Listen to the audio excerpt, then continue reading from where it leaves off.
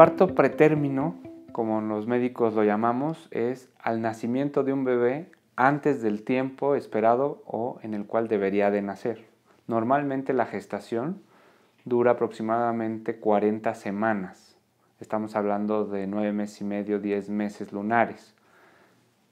Cuando un bebé debe de nacer es posterior a la semana 37 de la gestación, que es el tiempo en donde ya adquirió un adecuado peso, una concentración de grasa parda y todo para poder tener los nutrientes y sobrevivir más fácilmente y adaptarse al medio, porque recordemos que el bebé dentro del útero, dentro del vientre materno, está a cierta temperatura, en líquido y obviamente recibiendo los nutrientes y el oxígeno mediante la circulación materna a través del cordón umbilical y de la placenta, todos los nutrientes y todo el bebé dentro de la mamá no se preocupa por esas cosas. Entonces, obviamente al nacimiento viene una adaptación a muchos cambios. El cambio del tipo de circulación, ya el bebé tiene que usar sus pulmones para respirar, para recibir el oxígeno y eliminar el CO2, el dióxido de carbono, y muchos otros cambios que es un estrés. Este, estos cambios y este estrés, cuando son después de la semana 37 de la gestación, normalmente se realizan con mayor facilidad y sin ningún problema. Son los bebés sanos que nacen y que se van luego a luego con la mamá al cuarto y que tienen un peso adecuado y características que les permiten iniciar la lactancia de manera inmediata y sin ninguna dificultad. ¿Qué pasa cuando tenemos un parto prematuro? Bueno, son todos esos bebitos que van naciendo por alguna situación de causa por una enfermedad materna o por una enfermedad fetal que nacen antes de la semana 37. Esa sería nuestra definición. Vámonos a ver qué consecuencias trae esto para el bebé.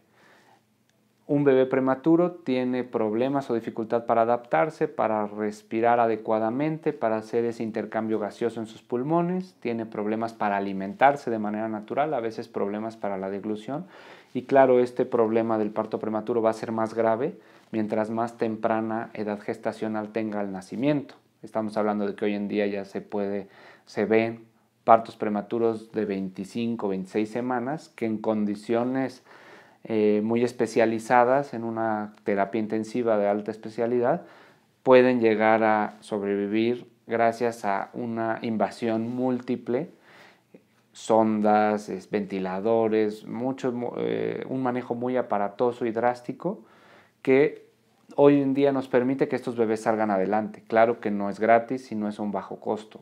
Todos estos tratamientos, estas terapias, un día de terapia intensiva tiene un costo altísimo que obviamente incluso los seguros más grandes se acaban y a nivel de la Secretaría de Salud evidentemente es un costo altísimo el que se paga por estos partos prematuros. La recomendación evidentemente es prevenir el parto prematuro y de esta manera lograr embarazos de término exitosos con un parto normal, con una buena adaptación al nacimiento por parte del bebé y sin necesidad de gastos y de riesgos, porque los bebés con parto prematuro tienen mayor riesgo de complicaciones, complicaciones respiratorias, complicaciones de la digestión y de la alimentación y muchas otras complicaciones del desarrollo neurológico, de la vista y muchos otros problemas que traen como consecuencia estos otros tratamientos y sobre todo el parto prematuro. Una buena manera que tenemos nosotros para prevenir el parto prematuro es la identificación de problemas oportunos. ¿Qué problemas? Infecciones y deficiencias hormonales de manera oportuna. Hoy se sabe que tanto el estradiol como la progesterona son hormonas muy importantes desde la concepción, implantación y durante la gestación.